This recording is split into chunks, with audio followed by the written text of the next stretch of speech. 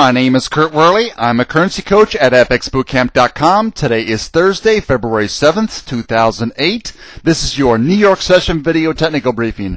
It's a video review of some of the things we did in the live class today at fxbootcamp.com during the New York session. This is an hourly chart for the Euro USD currency pair looking back from today's European session to the price action during last Friday's New York session.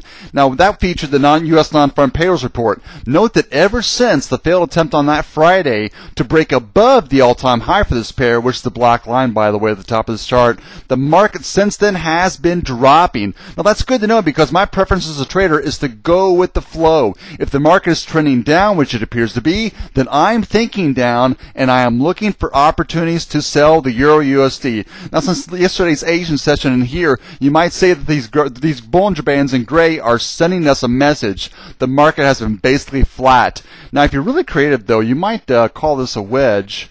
You'll see that if I draw it out for you. A sloping resistance line like that. And a support line, let's call it uh, 4600. About right, uh, about right there. Oops, there we go. So now I'm waiting for some kind of catalyst to break us out of this apparent wedge. Now that spark could come from the European Central Bank. Today brings us late, latest interest rate decision from the ECB. Now the central bank releases its decision on rates at 7:45 a.m. New York time, and then 45 minutes later, the ECB President Jean-Claude Trichet delivers a statement to the press, followed by a question and answer period. If the decision on rates leave them unchanged, which is highly expected today, then the market will probably look to those comments from Trichet for clues to the ECB's monetary policy moving forward. Okay, let's move to the 15 minute chart for a closer look at this pair. Okay, on the left is a 15 minute chart for the Euro USD currency pair, and on the right is a pivot points chart as they looked at 7:15 a.m., 45 minutes prior to the start of the session. Now, since I'm such a conservative trader, I'm going to wait for a break outside of the wedge, and because the trend has been down, I would prefer to see that break go to the downside. Now, I prepared a sort of a whiteboard which shows my trade plan. Let me uh, pull that together here okay, I realize it's not really white, but it'll work with me, okay? Now, basically, I'm looking for a break of 4,600. I'm looking for a break below 4,600, which is the horizontal black line here, then a retest of that level, which is denoted by the blue circle here. That is my ideal entry point. After that, hopefully, price continues down from there, extends down to my profit target, which I'll discuss a little while later. Okay, let me uh, move my makeshift whiteboard. Okay, now we're still inside this wedge that I drew on the on the hourly chart earlier, and the ECB news conference is more than an hour away. But I'm already seeing a series of lower highs in the making here over the past three hours. There's lower highs over the past three hours, and that's why I'm already keeping a close eye on this pair. Okay, let's see what time brings us.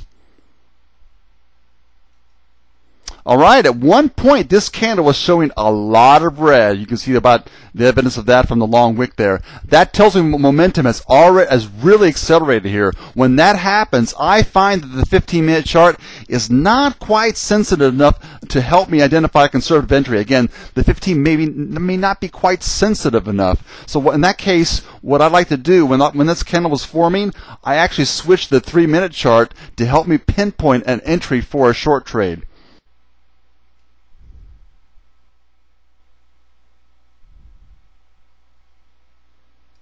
Okay, here we go. What do you see highlighted in yellow on this three minute chart is the same move down shown by the two latest 15 minute candles on the left. Now, just like I drawn up on the whiteboard I showed you a minute ago, here's the breakdown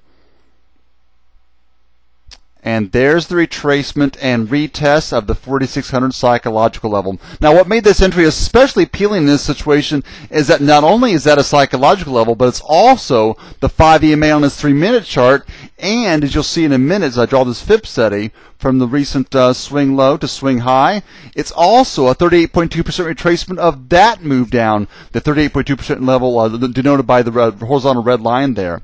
So if you took the entry at 4600, you're in right there, and you could put your stop loss.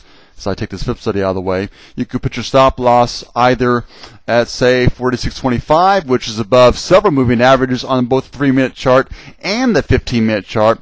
Or if you prefer, you maybe put the uh, stop loss a few pips above this latest swing high at about 46.30. Okay, let's get back to the 15-minute chart and see how this plays out.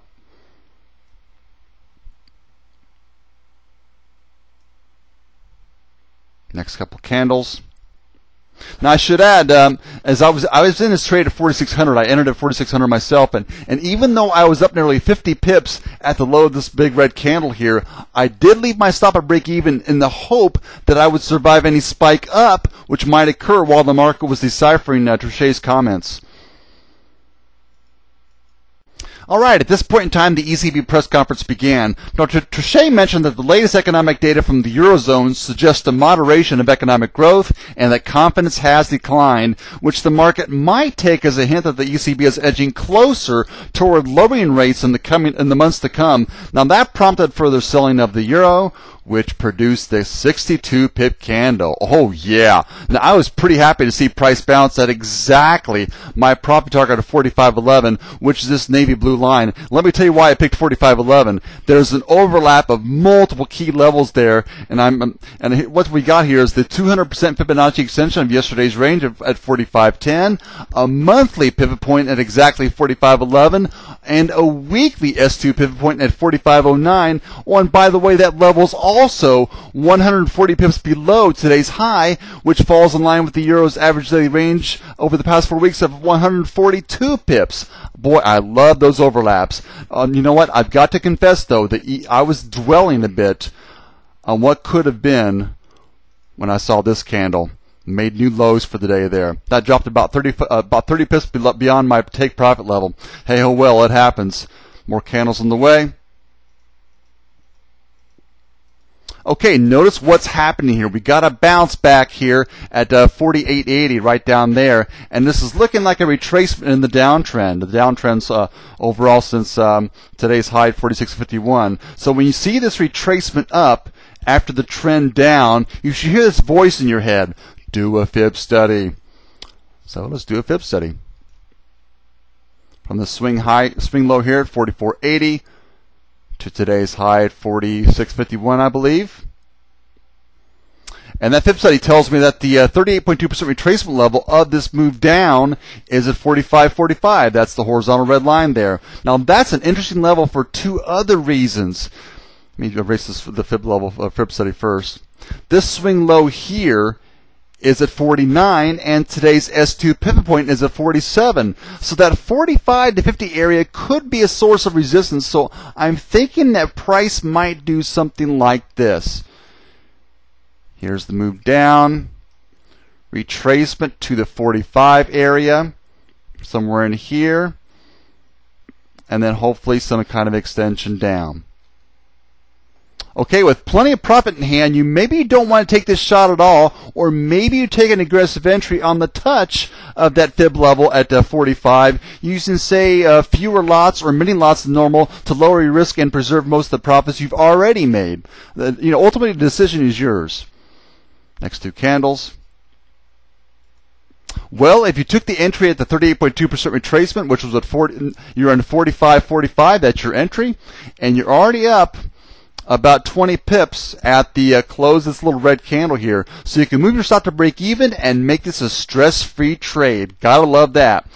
As the session wound down, next few candles coming here. The euro actually continued down, and that red vertical line represents London close. At that point, just before London close, you had two options. You could either exit the trade, which meant a profit of about 50 pips based on the entry at 45.45, or you stay in the trade until the 5 EMA, which is the maroon line, and the 8 SMA, which is the black line, cross against you. That meaning the 5 EMA is above the 8 SMA. If you stuck with it, if you stuck with the trade, you actually waited more than three hours for that 5-8 cross. Where is it? There it is. 5-8 cross. Let me circle it. Right there's the 5-8 cross. And after three hours, you've got just 20 more pips to uh, show for it. anyway, it was quite a day for the euro. Two, actually, 213 pips in all, in all from high to low. Today is Thursday, February 7th, 2008, and this has been your New York session video briefing from FXBootcamp.com.